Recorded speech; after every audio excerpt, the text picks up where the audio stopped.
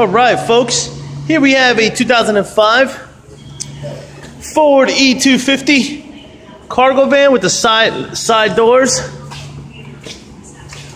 windows. One and a half life left on those tires. Does have nice chrome-like hubcaps. All right.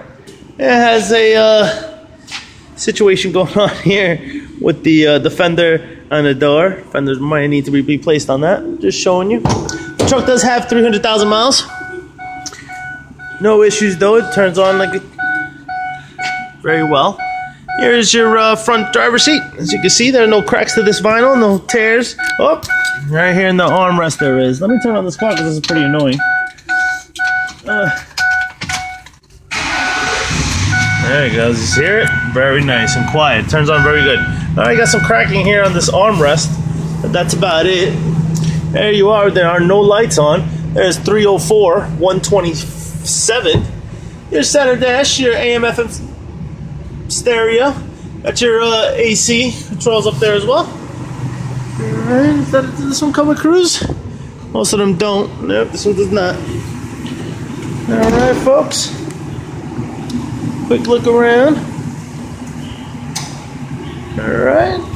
Take another look here at this uh there's your front passenger seat. You can see this chair has no cracking and no no cracking, no tears, no rips, no holes. Very nice. And this is what your center console looks like from the passenger seat. Oh! It does have owner's manuals. Looking for it. There they are owner's manuals, and one, two sets of keys. Got the uh, side opening doors with the uh, divider cage in the back.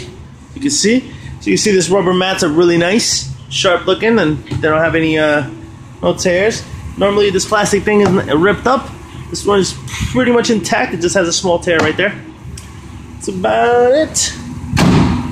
Look at that that thread on that. really good, really good thread. All right.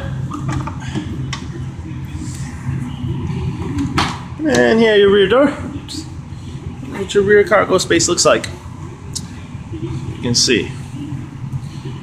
All right, that's pretty much it. It is as is for the mileage. Once again, folks, this is a 2005 4250 cargo van with 100 and uh, with I'm sorry with 304 miles on it. You have any questions or concerns, 304,000 miles. If you have any questions or concerns, don't hesitate to ask. We will be selling this for about $4,000. All right, uh, 4,000 our best offer.